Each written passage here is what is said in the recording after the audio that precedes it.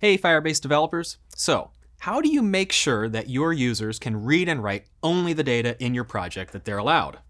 I'm sure you probably already know that you can do this with Firebase security rules. You can write security rules to protect the data stored in real-time database, Cloud Firestore, and cloud storage. These rules sit between your client app and the data, making sure that each of the reads and writes performed by the client SDK are allowed for the end user. If your client app directly reads and writes data using any of these three products, you definitely need to think about security. I imagine that many of you are watching today because you got an email notification saying that your rules aren't secure. Hopefully, by the end of this series, you'll be able to write rules that are good for your app. Firebase Security Rules provides an expression language that lets you choose how the end user is allowed to access data in these products. Note that the expression language is not a full programming language, and there are two varieties. They both might feel similar to JavaScript. For real-time database, the rules are formatted using JSON. You can see here that you identify a node in the database, such as users, with possible wildcards to match any child node. Then apply conditions on that to indicate how the data at that node may be read and written. In this case, we're saying that anyone can read any child node under users, but only an authenticated user may write the child node with the same ID as their own UID assigned by Firebase Authentication. For Cloud Firestore and Cloud Storage, the syntax is quite different.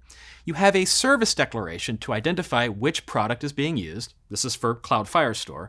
One or more match patterns that specify the path, and also possible wildcards of documents or objects to protect. Nested inside match patterns, there are allow expressions that determine the specific conditions for accessing the document or object. The allow keyword requires that you also provide a method that describes the nature of the axis, which is going to be read or write or something more granular. This example is similar to the last one for real-time database, and it's saying that all documents in the user's collection can be read by anyone, but only an authenticated user may write the document with the ID that's the same as their own UID. The expressions themselves follow the syntax of the Common Expression language. While the capabilities of both rule systems are similar, in this series I'm going to spend most of the time talking about what you can do with the Common Expression language used by Firestore and Cloud Storage. But before diving into that, it's a good idea to wrap your head around the strategies used to protect data. The way I see it, there are two main categories of assertions you will want to express in your rules. First, there are user-based assertions, which you can apply only if your app is also using Firebase Authentication to identify and sign in the user. It's very common to use the unique ID of the user to determine which things they can read and write. You can also make use of custom claims granted to the account in order to authorize access. If you're not using Firebase Auth, you won't be able to write any rules that depend on knowing something about the user. Authentication is a crucial part of developing a secure app, and it's my opinion that you should integrate it into your app as soon as possible, even if it's just anonymous authentication, so you can also start writing good user-based rules. Second, there are content-based assertions, which you can use to control access to data based on the contents of the data itself. So, for example, imagine a Boolean field value in a document that marks it as publicly readable by everyone. You can use this Boolean field value in your rules to allow access to the document. And for write operations, you can also examine the data about to be written in order to check it for validity and consistency. Ideally, you'll write rules that use a combination of these two types of assertions.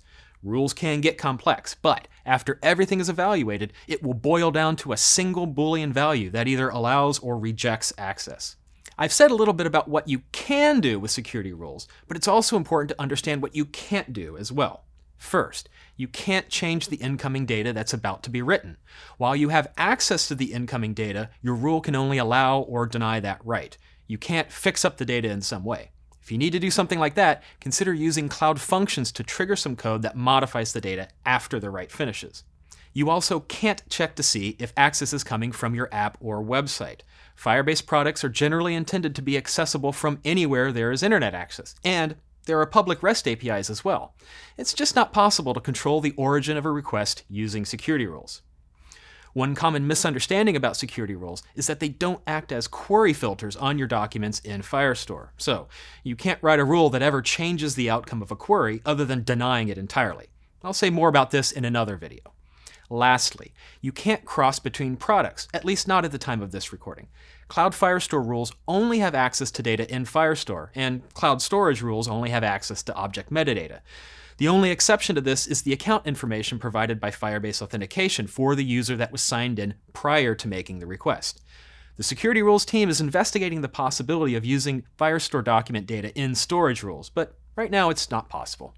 As I said before, security rules don't provide a full programming language, but it is still code, and like all code, you should test it while you develop to make sure it works the way you expect. It's possible to write app code that exercises your rules, but running a special code path in your app just to test rules isn't very convenient or efficient. You also don't get a very helpful error message from the client SDK in the case that an operation is denied. So, to make this easier, there are two other ways to test your rules. First, it's pretty easy to get started testing rules in the Firebase console. Real-time database, Cloud Firestore, and Cloud Storage all have a rules simulator in the screen where you can edit your rules. This simulator lets you configure a database or storage operation, add authentication to it if you want, and test that situation against the rules that you see on the screen. The console will tell you which line allowed or disallowed access to the data. You can test some common rules like this, but you should know that not all situations can be simulated in the console. For testing more advanced rules, you want to download the Cloud Firestore local emulator that comes with the Firebase CLI. With the emulator, you can write code to set up some test documents, then query those documents to see if they're correctly allowed or denied by some rules. This emulator is running the exact same code that evaluates security rules deployed in production, so you'll know for sure if they work correctly.